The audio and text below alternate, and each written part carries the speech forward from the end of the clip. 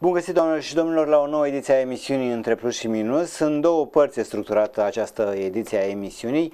În prima parte vom uh, vorbi împreună cu Dragoș Danubianu, firește, invitatul permanent al emisiunii, pe care îl salut. Bună seara! Uh, vom vorbi despre felul în care în municipiul Suceava încă domină noroiul, asta și în condițiile în care plouă foarte mult dar există intenții, spune-se, pe la autoritatea publică locală, cum că străzile din spatele blocurilor uh, de la Bulevard uh, vor fi asfaltate, nu știm când, încă până una alta am filmat noroi în cartodrom în cartierul Sucevan George Enescu. Am filmat uh, și avem și declarații de la fața locului, uh, greva de la Crucea, pentru că ortacii de acolo uh, iar uh, au intrat într-un, uh, uh, într-o perioadă de nemulțumiri sociale și financiare. Discutăm acolo despre uh, acest subiect împreună cu Dragoș Danbianu și, bineînțeles, vom vorbi și despre felul în care actualul edil al municipiului uh, Fălticeni, Cătălin Coman, vrea să ajungă la șefia Partidului Social Democrat, organizația județeană Suceava, Uh, pe fondul unor uh, neînțelegeri, uh, surse spun că de fapt ar fi mai mult decât neînțelegeri între actualul candidat, Cătălin Coman, și actualul președinte al organizației, senatorul Ioan Stan, președinte candidat la rândul la șefia organizației județene PSD Suceava. În partea a doua a emisiunii uh, vom uh, vorbi cu fostul uh, șef al Direcției Generale de Asistență Socială și Pensii Suceava, domnul Constantin Moraru, cu care am vorbit și despre care am aflat, de la care am aflat lucruri interesante în ceea ce privește pensiile, pensionarea, conceptul și despre Jean-Jacques Rousseau prin secol 18, astăzi în secolul 21, urmări și partea a doua, pentru că s-ar putea să avem ceva de învățat cu toții. Până una alta, noroi pe cartodrom urmărim reportajul preluat de la InfoPlus și redifuzat la Între Plus și Minus, apoi îl comentăm aici cu Dragoș Danubianu. În zona Cartodrom, la blocurile noi din cartierul George Enescu, oamenii își rup mașinile zilnic din cauza gropilor. Parcările, deși puține, sunt pline de noroi. Asfaltul, unde există, este plin de grop, iar copiii, când nu sunt la școală, se joacă printre mașini. Traficul în zonă a devenit o adevărată aventură, iar în zona de garaje, câinii vagabonzi își revendică teritoriul. Cum drumurile, toate sparte, uitați-vă în jur aici, vedeți unii își parchează oamenii mașinile, îi trebuie să le tragă cu, cu buldozerul ca să le scoată. E jale, na, poate să face. În viitorul apropiat, sperăm. Încă mai aveți speranță? Păi, ultima. Ultima care moare este speranța, nu? Asta e. Dar vă plătiți taxele, nu? Automat, dacă te-au prins că ești restanțier, plătești dublu, triplu și așa mai departe. Dar de făcut să faci cum, cum dă Domnul. E mai puțin să gândesc la, la oameni, să gândesc mai mult la ei, cred că. De merge treaba așa cum vedeți și dumneavoastră. Da, sperăm să îndrepte lucrurile după, după vreme. Și vremea e cum vedeți. E gata vara acum și n-am avut soare, n-am avut... Eu lucrez în construcții și o zi, o, o, într-o zi mergi o oră la muncă, la doua zi nu poți să mergi deloc și tot așa. Cheltuielile trebuie să plătite de unii bani. Și celelalte toate dările la primărie, la stat, cum se zice. Asta sperăm să se facă. Când și cum, ei știu. Noi dăm banii, dar așteptăm să îndrepte vremea.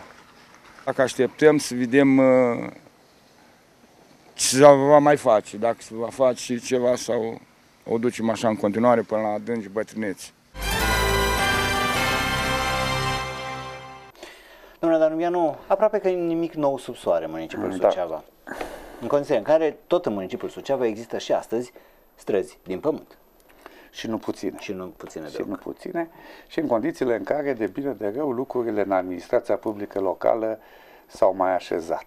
Adică există uh, bugete predictibile și nu foarte mici, numai că trebuie să existe și viziune și un plan foarte clar de prioritizare a treburilor. E, chestia asta cu starea drumurilor uh, trebuia să fie una din prioritățile unei administrații publice locale. Dacă te duci în principalele capitale de județ, constați că lucrurile stau cu totul și cu totul altfel decât stau în Suceava, unde încă ai o serie întreagă de străzi cu chiu cu vai s-au, s-au amenajat, cu fonduri europene, cum s-au amenajat principalele artere, dar în rest este jale.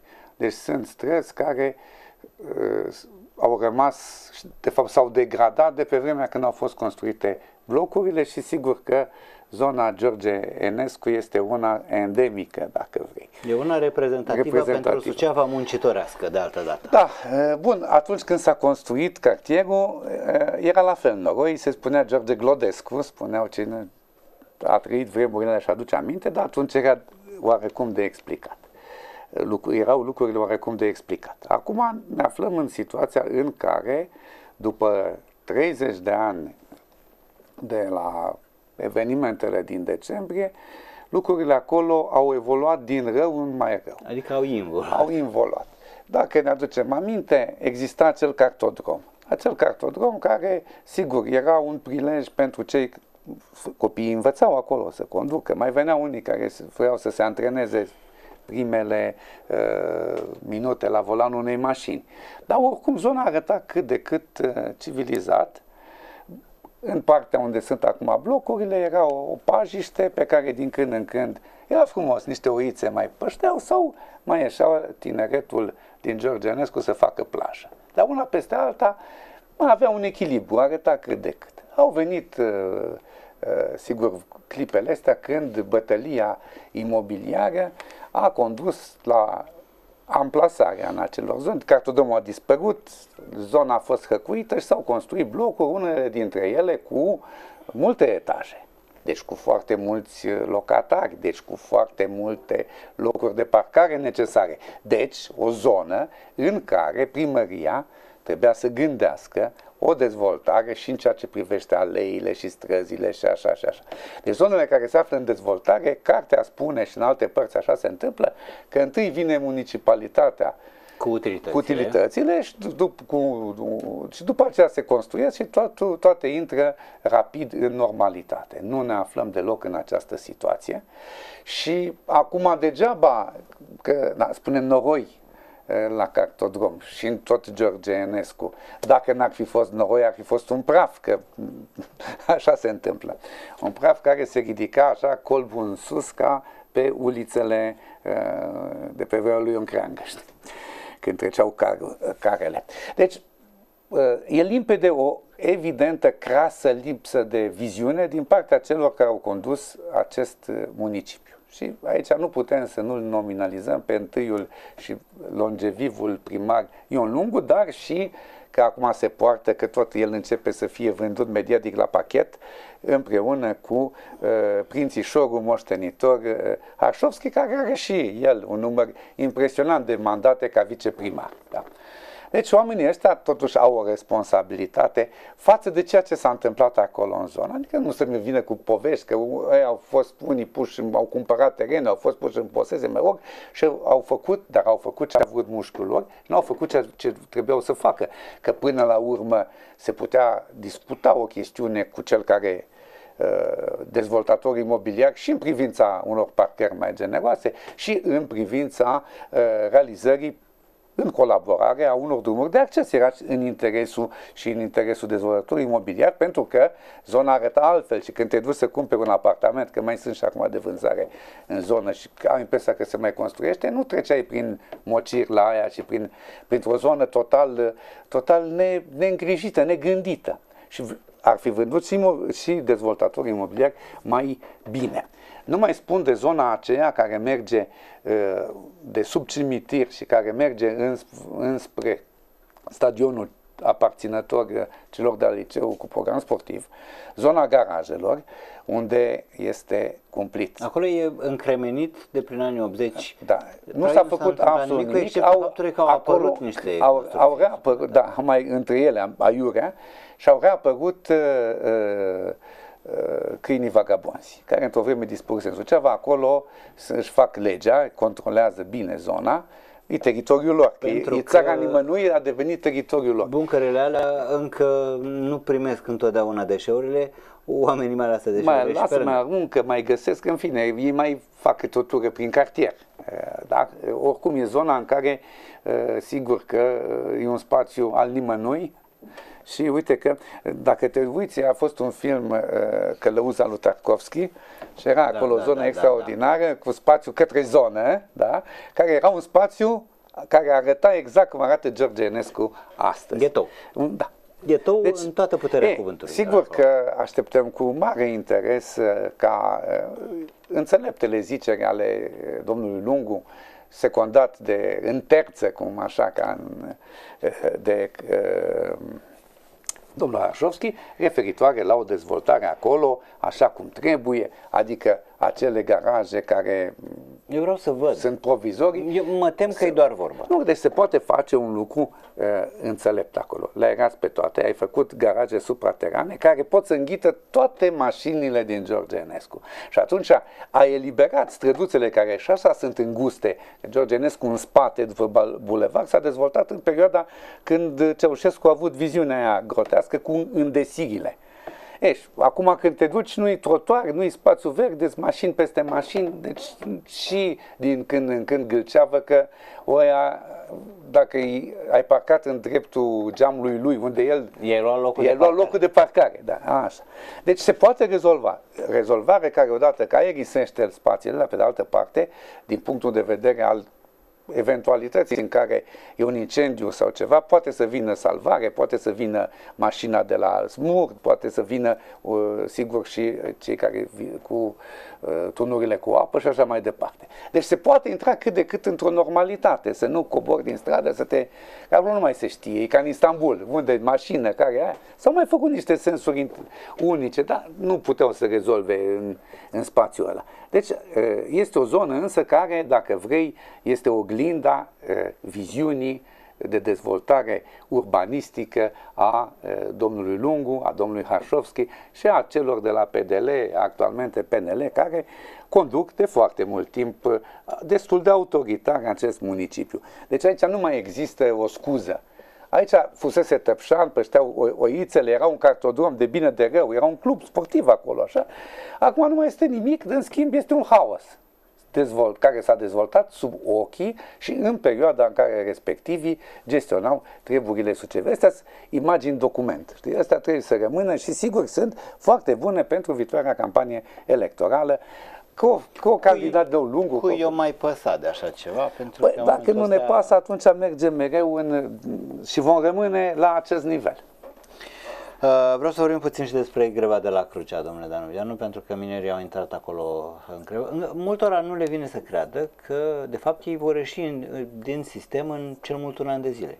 Că li se va încheia contractul și că, de fapt, acolo se merge în lichidare. Încă nu cred oamenii de acolo. Vreau să urmărim materialul și stăm penderete pe acest subiect pentru că sunteți și dumneavoastră destul de informat din punctul ăsta de vedere. Urmărim materialul de la InfoPlus.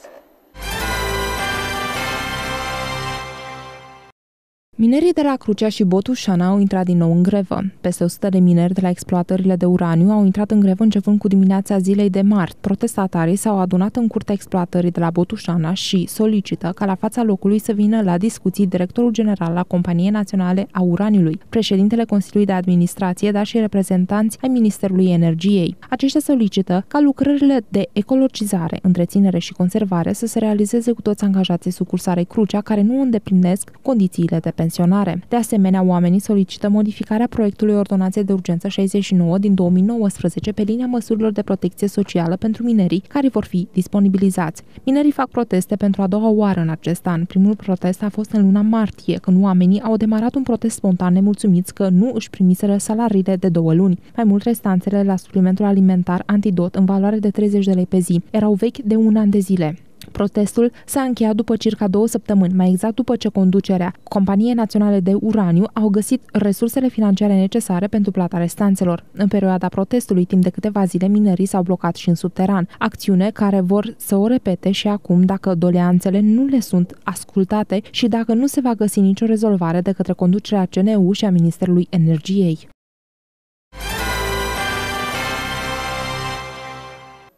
Da, domnule Danubianu, grevă la Crucea cu Da. solicitările ortacilor, Acum, mai mult sau mai puțin justificate. este, este impropriu spus grevă pentru că ei, acolo nu se mai lucrează de mult timp. Nu se mai lucrează de mult timp în condițiile în care nici ceea ce se produce acolo, minereul de acolo, nu se mai procesează la feldioara și așa mai departe și în condițiile în care există deja aprobat prin hotărâre de guvern un plan de un PIA, un plan de închidere a activității. Plan care este destul de complex pentru situațiile în care se închide o mină cum este cea de uraniu. Acest PIA uh, este aprobat prin HG, cum spuneam, și în el se prevede clar numărul cât rămân, 5, 6 sau 64, din față de cei 300 acum.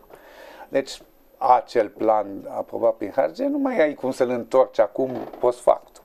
Dar eu sunt convins că uh, sindicatele, de acolo nu e vorba numai de sindicate, că sunt doar 100 din 300 care sunt nemulțumiți, uh, știau poate n-au, nu i-au informat cum trebuie pe oameni, că asta este situația. Deci ceea ce urmează acum acolo este uh, aprobarea unui, unui, unui plan prin care se vor desface un număr important de contracte de muncă cu drepturile cuvenite, adică pe de o parte acele salarii compensatorii potrivit uh, contractului colectiv de muncă în funcție de vechimea fiecăruia și mai mult decât atât cu un lucru pe care uh, statul român l-a practicat cu consecvență atunci când a fost vorba de închideri de activități de acest gen, cum alte mine sau cetul, de exemplu, de aici, cu un, pe lângă ajutorul de șomaj, un venit de completare. E, acum s-au trezit domnii care protestează acolo,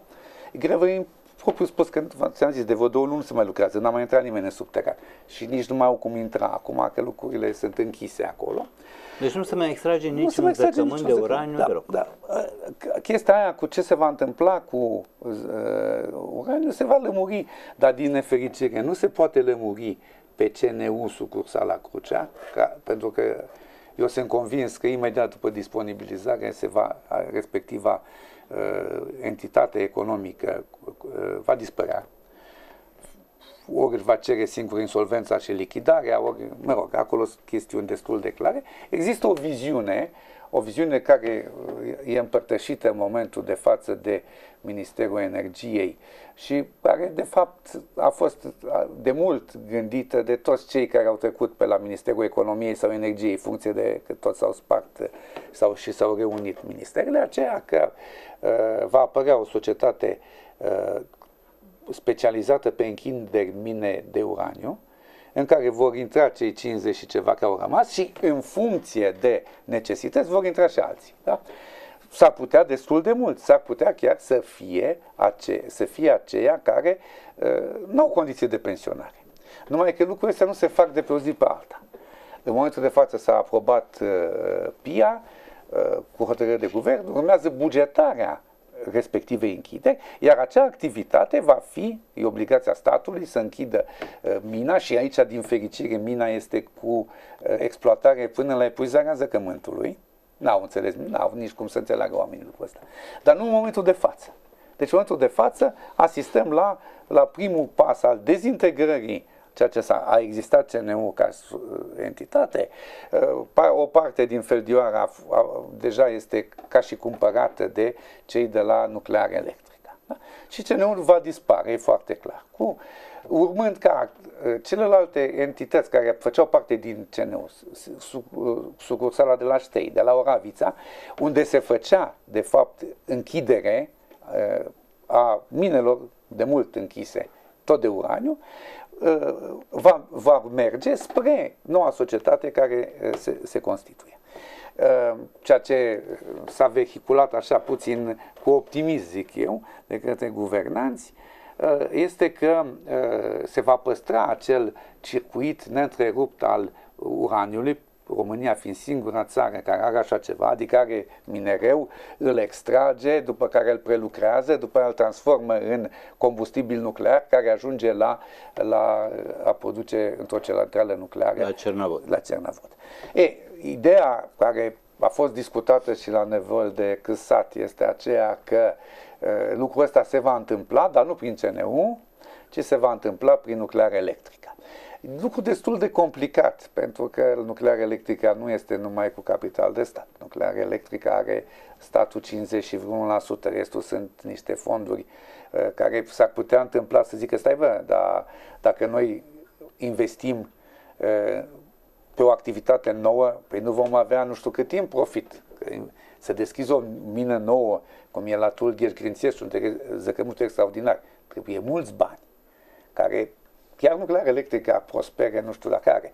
De asemenea, pe partea cealaltă, de prelucrare a respectivul minereu, la Feldioara, unde există un perimetru, din fericire, un perimetru care este pentru aceste activități cu substanțe radioactive, acolo trebuie o retehnologizare până să ajungi. E, deci eu nu cred că, acum, sigur, se vinde o, o poveste. Una peste alta este că CNU, putem vorbi de acum despre CNU la modul trecut, sigur, toată, toată înțelegerea față de oamenii aia care se văd în situația de a rămâne o perioadă destul de scurtă, fără loc de muncă, într-o zonă monoindustrială, cum este Valea Bistriței, că de pe Valea Bistriței sunt cam toți minerii, nu sunt toți doar din Crucea. Avem și în partea asta altă înspre uh, Ostra, Dar nu, deci aia Botușanu este, intrarea este pe acolo, dar uh, minerii sunt duși cu 20 de kilometri până acolo, o parte din Crucea, alții sunt într-adevăr. De pe partea, de pe zona Stulpican și acolo sunt, sunt angajați, sigur că da. Dar întotdeauna au fost de peste tot aduși că intrarea în mină în exploatări se face prin două locuri, la, deși zăcămintele trec de sub Crucea până sub Stulpican, de, uh, Ostrea, nu știu. Deci asta este situația. Da, uh, sunt gata, sunt epuizate zăcămintele acolo? Ele sunt aproape de epuizare, adică așa cum uh, se prezintă în momentul de față, ele uh, nu mai, uh, și cu mijloacele de exploatare acum și de prelucrare de la Felgioara, ele economic nu mai pot să fie, nu mai sunt sustenabile. Nici măcar rentabile. O, categoric, deci nu mai pot să economic, ești în pierdere și statul nu mai Uh, nu mai poate să dea subvenții, au dispărut subvențiile. Mai este și presiunea din partea ESA, un institut, uh, o instituție europeană. Și atunci lucrurile astea au condus, așa a murit CNU până la urmă. Pentru că și salariile astea și ajutoarele luate sunt luate pe un avans dat pe viitoarea cumpărare de către, nu din ce s-au produs și au vândut, nu, categoric. Și atunci, și atunci uh, practic, lucrurile se, se vor închide cât de curând. În momentul, chiar astăzi, din informațiile mele, are loc o, o discuție chiar la Compania Națională a Uraniului la București cu sindicaliștii și reprezentanții ai, ai minerilor, chiar cu Ministrul Energiei, pentru a lămuri lucrurile. Adică acum să vii să spui, nu domnule, nu mai vrem, vrem altcumva, pe o legislație care este aprobată și este debătută în cuie, nici nu mai este timp pentru așa ceva. Ce se întâmplă cu datoriile pe care le-a acumulat uh, Crucea de-a lungul deci timpului? Datorii, datorii, datorii în stânga, păi, în dreapta? Gândește-te un lucru, că acolo sunt numai datorii uriașe față de uh, acel ajutor pentru luat uh, ajutor de stat care n-a putut să fie dat înapoi. Deci situația este, eu nici nu știu cum uh, cei care administrau și au administrat în ultima perioadă îndeosebi această companie, nu le e frică că nu și-au trecut, nu și-au solicitat insolvența la momentul potrivit. Datele economice arătau clar că nu există ieșire. Și atunci, sigur că există unii fornizori care s-ar putea să se trezească că dau din buze pentru că întâi se acopere datoriile fa- față de oamenii muncii, nu? După aceea cele față de stat și sunt, și sunt datorii și la agenția uh, fondului de mediu foarte mari. Asta spun. Eșalonate. La fondul de mediu, la oameni, la fondul de mediu, dar la, vorbeam la, la finanțe, la finanțe, la, așa, vorbeam cu primarul din Crucea foarte și la, și recent. la bugetul local. Să vă spun. Da, și sigur. omul spunea că uh, e o nebunie acolo pentru că nu știu când o să plătească ăștia de la exploatarea mineră, minieră, pentru că ei deja au intrat într-o, într-o zonă de insolvență. Întrebare, va, va mai primi vreodată UAT Crucea bani de la Mă tem că EMA? nu. Deci va intra la o masă credală A, și deci acolo... e poveste. E o poveste. Deci, la fel, furnizorii care au mai dat, uh, ca, uh, se lucrează cu exploziv, se lucrează cu uh, combustibil, se lucrează cu energie electrică, nu-i de joacă. Nu. Și chiar cu gaz la fel, dioara, cantități mari. Deci acum îți dai seama că sunt unii care au de recuperat ceva sume. Uh, Dacă te uiți ce sume se- intrau în exploatarea asta, uh, te crucești. Deci sunt, sunt mari, uh, mari furnizori de energie electrică care s-ar putea întâmpla nici ei să nu își Deci recupereze. primarul din Crucea când vorbește despre taxe El și e un mic impozite, copil, da, e un mic copil desene ca, animate. Ca, da, da. Mă Am tem înțeles. că nu vor fi uh, curând uh, sau vreodată acele datorii care îl încurcă, că el, el se- s-a încărcat în buget Exact, cu aia, da, da, sigur da, că da, da, păi aici problema. Da, da, da, e o mare problemă. Și la Ostra la fel. Da, categoric, păi, sigur că da. Asta e situația. Deci, uh, oricum, greva asta este, este desuietă în condițiile în care, cum spuneam, ne aflăm în, în, cu o hotărâre de guvern privind PIA, ave- avem un plan de restructurare cu disponibilizare, că oamenii urmând să primească și uh, acele drepturi care de venit, acel venit de completare. Deci nu ar trebui să fie atât de speriați, pentru că perspectiva totuși este. Aia care sunt pensionabili se pensionează, ceilalți poate vor sta pe tușă cu venit, ajutor de somaj și venit de completare 2, 3, 5, 7 luni până se face cealaltă companie, care, societate de închidere, care va avea finanțare de la stat. Și atunci, și în condițiile acolo se va exploata și minereul rămas. Foarte clar. Asta e situația. Da, e uh, trist, e dramatic, dar uh, acum nu, tot, nu întotdeauna greviștii au dreptate. De data asta, după mine, nu prea au dreptate. Mai ales că sunt și minoritari, o treime din... uh, Sunt din o trime din, din, din cei care au... au uh, da. Mergem mai departe, doamnelor și domnilor. Uh, Ultimul subiect este cel referitor la ce se întâmplă astăzi în uh, organizația județeană PSD Suceava. De fapt, uh, actualul președinte, senatorul Ioan Stan, a anunțat public faptul că își dorește să mai fie președinte al organizației încă un mandat, adică patru ani, încă patru ani de prin 2021, înțeleg? Uh, Cătălin Coman a spus ok, uh, nicio problemă, vreau și eu să candidez. Da. Și se pare că acest De lucru a aici cam încoace stârnit s-a, s-a ridicat capacul de pe cutia Pandora. Exact. Lămuriți-ne, vă rog, dacă... Da. Da, acum eu lămuresc în măsura în care înțeleg și eu lucrurile și nu le știu încă pe toate. știi? Deocamdată. Deocamdată, dar mă străduiesc.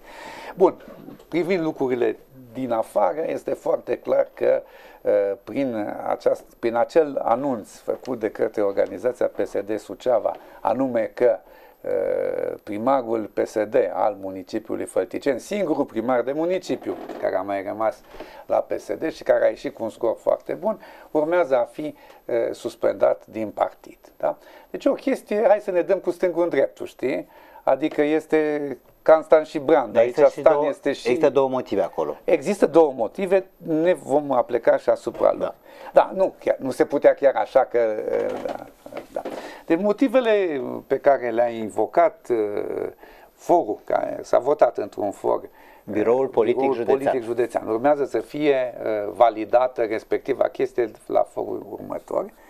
Uh, Constă în faptul că uh, primarul uh, Coman uh, ar fi făcut niște declarații uh, favorabile uh, președintelui Consiliului Județean, care este PNL, și senatorului Mândruță, care este USR.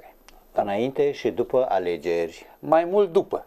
Mai mult după au existat niște mici cochetări înainte, dar astea erau doar că uh, atunci când apăreau în zonă preamăriții de la județ, uh, apărea și primarul. Dar nu erau, uh, nu aveau nicio, nicio componentă exprimată fățiș de către, de către Coman în favoarea respectivilor. Da?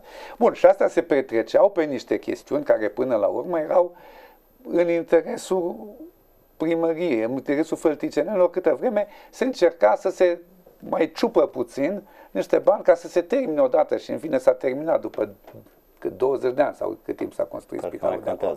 Sigur că mie mi-e foarte clar că domnul Coman după ce a câștigat încă o dată, s-a uitat și a zis, păi ce facem noi pe aici? Păi la județ au câștigat uh, onori liberalii și la, la uh, guvernare sunt uh, coaliția PNL-USR, ba, Bașca mai este și un domn senator Măruță sau Mândruță. Mândruță, așa. E, e greu să ții numele. Auziți, dar nu, am pierdut și atunci, nimic. Și atunci, am pierdut absolut nimic. Și atunci a zis, bă, stai puțin, că eu până la urmă cu ăștia voi fi în continuare un, un număr de ani. Că de fapt partidul meu este în opoziție. Partidul meu este în opoziție. Deși a câștigat alegerile. Deși a câștigat alegerile la nivel național e. și chiar a luat un scor destul de bun și în județul Suceava. Bun. La locale și-au rupt gâtul. Pe vremea asta, hanoviștilor, în 48, uh, Coman ar fi fost dus la Jilava direct. Da, categoric, Clar. sigur că da. Era... Adică e trădare de neam și țară. Da, dar lucrurile s-au schimbat, pentru că acum dacă n-ar fi fost alte interese A? la care ajungem imediat, Așa. PSD-ul nu trebuia să se agite, pentru că era foarte clar că dacă a făcut, Coman a făcut ceea ce a făcut.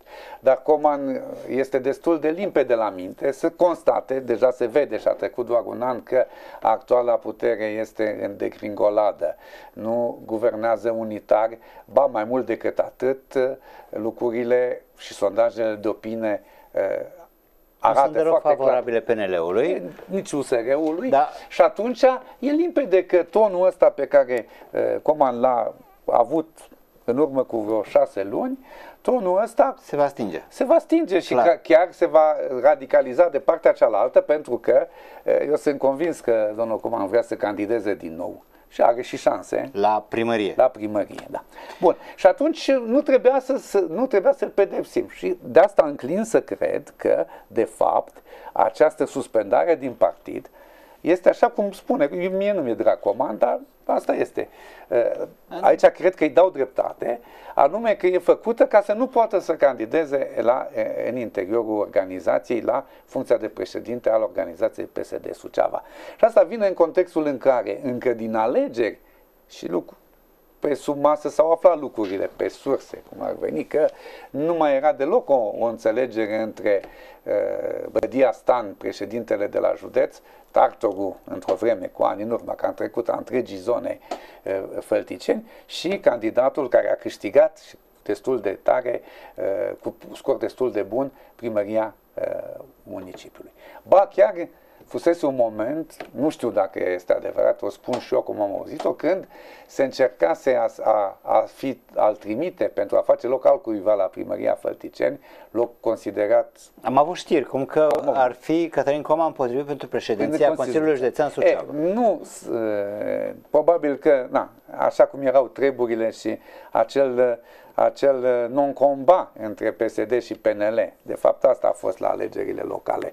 Uh, cum am simțit și nu, a rămas la primărie și sigur că ă, de aici a fost prima supărare. Deci ai vrut să-mi dai un vânt, să-mi rup gâtul la... Acum știți cum, vorbim despre doi oameni. Ce se întâmplă cu echipa? Pentru că oamenii ăștia nu păi, sunt așa solitari în partid. Deci, practic, acum, acum ă, am ajuns în situația în care ă, ar fi a fost în fața electoratului PSD, poporului PSD, cum zicea domn primar, fost primar al Bucureștiului, doi candidați. Un Ion Stan din ce în ce mai bătrân și, și mai obosit, că asta este realitatea, ca imagine, că la, la limbaj politic n-a excelat niciodată, și un Cătălin Coman, care era la al treilea mandat, pe val, mai tânăr, viguros, singurul care a câștigat la alegerile locale, ca și zis Coman, ce doamne, mă judecă pierzătorii. Știi? E bun, dar nu, de fapt, de fapt, toată chestiunea este că Stan își dorește să fie nemuritor, așa, mai ceva decât a, până și Mârza, până și Mârza la un moment dat a zis, bă, gata, punem ghetele în cui, mergem în Parlament, nu știu. E, nu, Stan vrea, acum a prins gustul, vrea să își perpetueze poziția la conducerea partidului. Acum nici Cătălin Coma nu e pe nicăieri. El are niște antene și știe că Bucureștiul nu îl mai susține așa cum l-a susținut înainte pe asta. Și atunci Stan ce a zis, păi ce fac cu tânărul ăsta? Cu lupul tânăr. Lupul tânăr.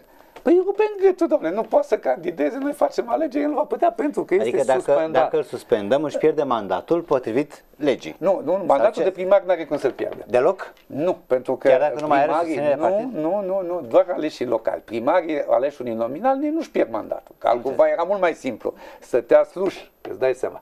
Deci, uh, Pro, o el- lege proastă în cazul ăsta. Legea așa e legea. Nu, Dar Ce nu- să spun? nu e funcțională, Deci primarii nu? nu? Da, primarii nu au regimul consilierilor locali care își pierd mandatul dacă pierd, uh, pierd susținerea partidului. Motivarea la momentul respectiv a fost aceea că dacă primarii sunt aleși uninominal, alții sunt aleși pe o listă, știi? Dar vezi că la Parlament, unde să alegi pe o listă, nu se întâmplă chestia asta. Dar, mă rog, așa e legea una peste alta. Deci pârghia asta de a-l strânge pe uș, cu ușa uh, referitor la sprijinul politic ca pentru funcția deținută nu există. Dar există posibilitatea de a stopa să intre în competiție. Și dai seama că s-ar putea, în fața poporului pe, PSD, care și așa nu moare el de dragul domnului Stan, hai să fim serioși. Că acolo sunt și ei primari cu personalitate și ăia care au mai rămas, ăia care n-au fugit uh, uh, spre, spre PNL. Că PNL-ul nu, nu câștiga localele dacă nu avea Da. da. 10 din noastră. Ar trebui să vorbim puțin stanului odată, plecate. odată despre uh, următorul lucru. Credeți că uh, în PSD Suceava e nevoie de o reformare?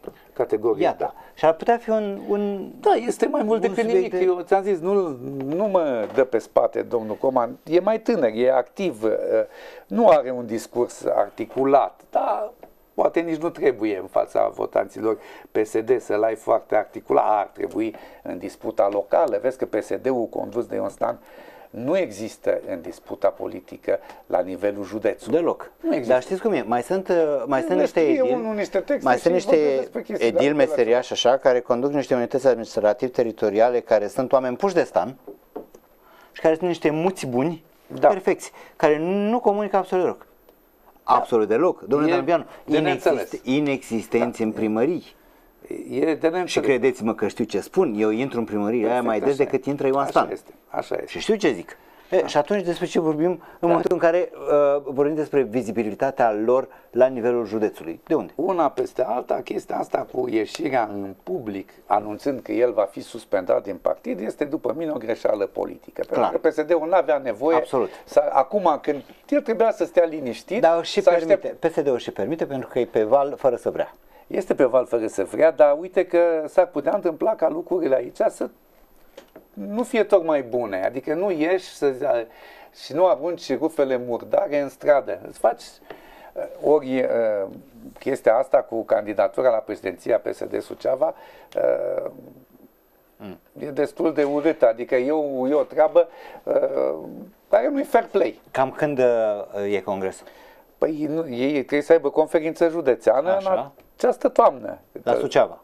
Urmând Și pe ca acel județul congre, Suceava. congres După aceea fie să se probabil meargă mai la, la nivel național, la nivelul anului următor. E, O să fie o vară lungă, vara O fi o vară cuțitelor lungă și, compli- fierbinți, și complicată. O întreagă e, adică e, saga. e trist, oamenii ăștia n-au, până la urmă, e destul de neplăcut să-ți arunci într-un scandal propriul partid pentru că vrei să nu ai contracandidat credibil.